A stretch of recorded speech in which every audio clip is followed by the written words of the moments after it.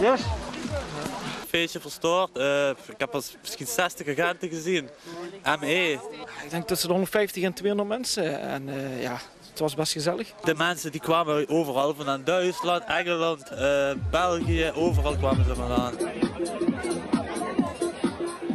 Ja, Sonny, veel van dit soort feestjes de afgelopen tijd. Ehm, eh, die van jullie zat er ook tussen, Ja. Rotterdam. Eh, midden in het bos.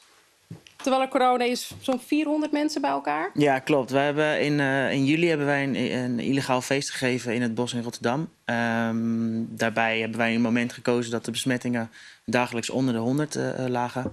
Ehm, dus daarbij hebben we echt een andere tijd gekozen dan dat het nu is.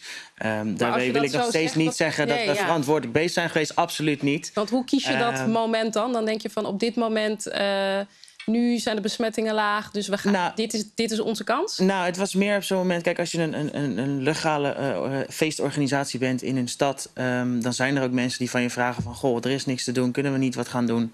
Ehm, en op het moment dat dan eigenlijk voor je gevoel de eerste golf voorbij is, eh, de besmettingen in jouw ogen niet heel zijn, omdat je niet de verhalen vanuit de zorg hoort, ehm, en je denkt dan van, ja, ik heb alle apparatuur, laat ik je gewoon eens de stoute schoenen aantrekken. Ja, met die verstand hebben wij een feest gegeven.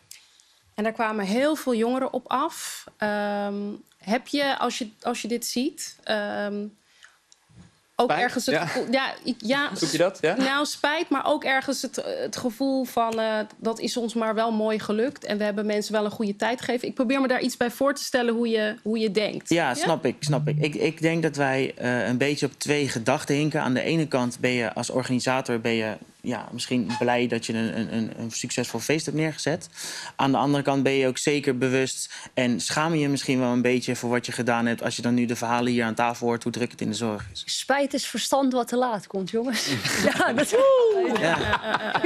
Ja, vind ik wel een mooi antwoord. Ja. Ja, maar de politie is, is, eh, is er natuurlijk ook aan te pas gekomen. Wat voor consequenties had dat voor jullie? Nou, de politie die kwam op een gegeven moment eh, kwamen, ze, eh, kwamen ze aan met een man of eh, 25 eh, politiehonden, noem het allemaal maar op. Eh, toen ben ik naar de politie toegegaan om gewoon mijn woord te doen. De rest is allemaal eh, netjes naar de parkeerplaats toegegaan. Wij eh, hebben in overleg met de politie hebben we de plek opgeruimd. Ik heb ook gevraagd of ik in daglicht nog terug mocht komen eh, voordat Staatsbos weer wilde gaan schouwen.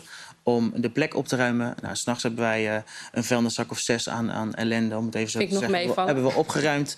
En overdag heb ik nog vier vuilniszakken aan alleen sigarettenpeuken weggehaald. Maar heb je een boete gehad? Nee.